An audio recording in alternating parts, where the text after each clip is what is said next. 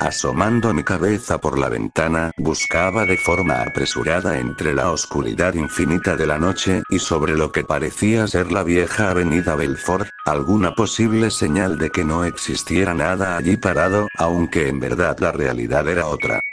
No sé de qué forma podría describirlo, pero durante varios días una persona se había estado quedando parado frente a mi casa sobre la avenida Belfort, donde se supone continuamente pasaban muchos automóviles, pero esa noche del 24 de enero no se observaba movimiento alguno.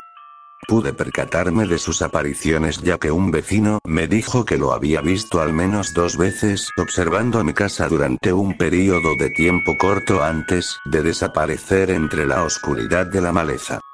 Durante algunos días la policía estuvo recorriendo el área, pero no pudieron ver nada así que la denuncia que habíamos impuesto fue descartada. Esta noche me he percatado que todas las luces de la calle se encuentran apagadas ya que un fuerte declive en la energía eléctrica había provocado un apagón. Aún así yo podía verlo de forma un poco clara ya que vestía unas ropas de color blanco que destacaban su silueta. Parecía medir al menos dos metros de estatura y complexión delgada. En su mano portaba lo que parecía ser un machete o tal vez un cuchillo, no lo podía distinguir muy bien. Podía haber llamado a la policía o algo, pero por alguna razón la llamada al 911 no conectaba. Sin luz y sin señal telefónica, me encontraba de cierta forma indefenso. Tal vez la idea de vivir solo no era tan buena solución para alejarme de mis padres sobreprotectores.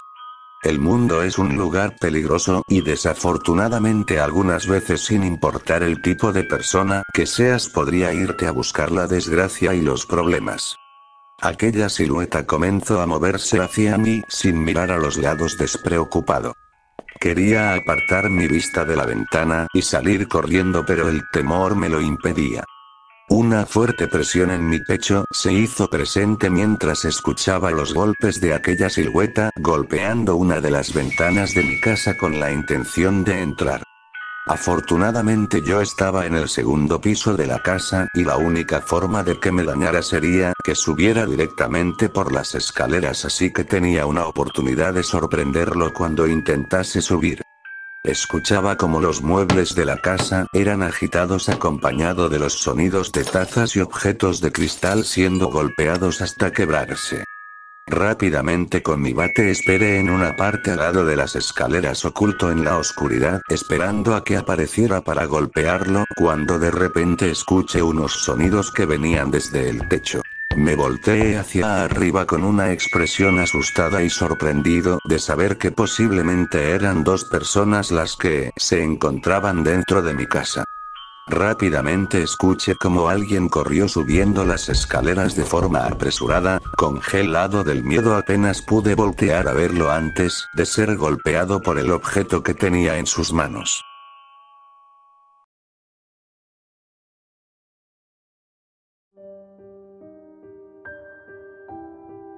Desde hace algún tiempo en mi casa habían comenzado a suceder cosas extrañas. Cuando menos me daba cuenta algunos objetos de los cuartos se encontraban tirados en el suelo, la televisión cambiaba sola de canal y muchas cosas hechas de vidrio aparecían quebrados por todos lados.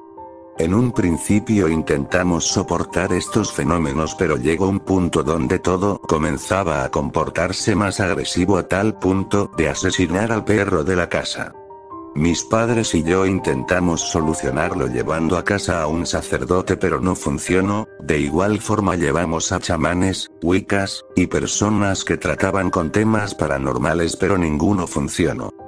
Al parecer lo que sea que fuese que estuviese allí no se largaría sin antes conseguir con su objetivo el cual era asesinarnos. También intentamos cambiarnos de casa pero esa cosa nos seguía a donde sea que fuésemos. En este momento me encuentro en la habitación de mi hermano recargado sobre la pared, sangrando de mi brazo y paralizado de miedo. Hace algunos momentos había corrido a la habitación de mi hermano ya que éste gritaba de forma desesperada, cuando llegué a su cuarto sobresalto encima mío mordiéndome el brazo derecho. Caí hacia atrás con mi brazo desangrándose, Con un grito desgarrador los muebles, cama, ropero y demás salieron disparados a todos lados creando un verdadero caos. Acercándose hacia mí me dijo. No tienes que preocuparte por nuestros padres. Ellos ya están en un mejor lugar y ahora es tu turno. Supongo que podría haber dejado una nota, explicando a detalle todo lo sucedido, pero no creo que pueda escribir ahora que mis brazos han sido devorados completamente.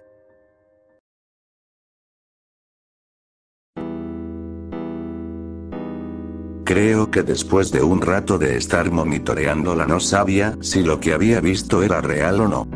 Su cabello suave y terso, adornaba perfectamente la sala de mi casa, completando mi gran colección que desde hace ya mucho tiempo me propuse a terminar. Tal vez todo esto hubiera durado más tiempo, pero mi obsesión fue más fuerte. Había terminado de juntar el cuero cabelludo de varias chicas, pero cuando por fin lo había hecho la vi a ella. Una linda chica con el cabello dorado muy bien cuidado y conservado se encontraba frente a mí ofreciéndome algún producto inútil. No pude resistirme a tal belleza y la convencí de entrar.